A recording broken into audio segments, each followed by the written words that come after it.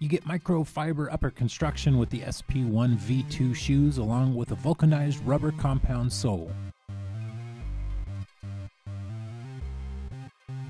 There's PU heel protectors and toe reinforcements.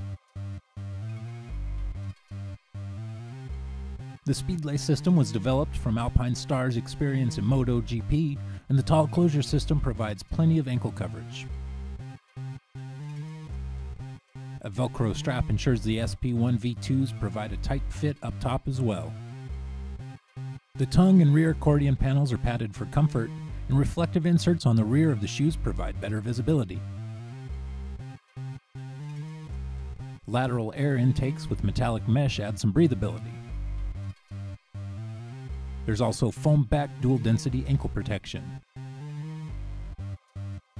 These are CE certified for safety. We've got the vented version on today for maximum airflow, but there's a non perf version as well with all the same perks of design.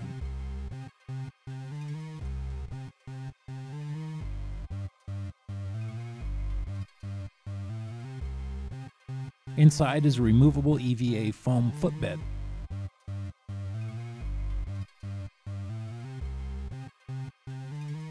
If you want to know more about the Alpinestars SP1 V2 riding shoes, including pricing, sizing, and color information, follow the link in the description. And be sure to subscribe to Riders Domain for more product spotlights and motorcycle reviews.